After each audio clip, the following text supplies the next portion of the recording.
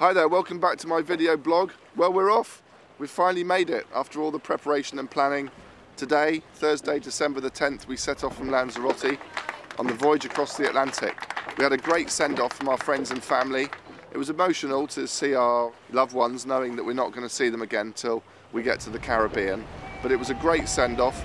It's been a really busy day doing TV interviews, radio interviews, um, even newspaper interviews over the telephone. But here we are, nearly at the end of our first day. I'm up on the bows of the boat. Would you believe it? The wind's gone.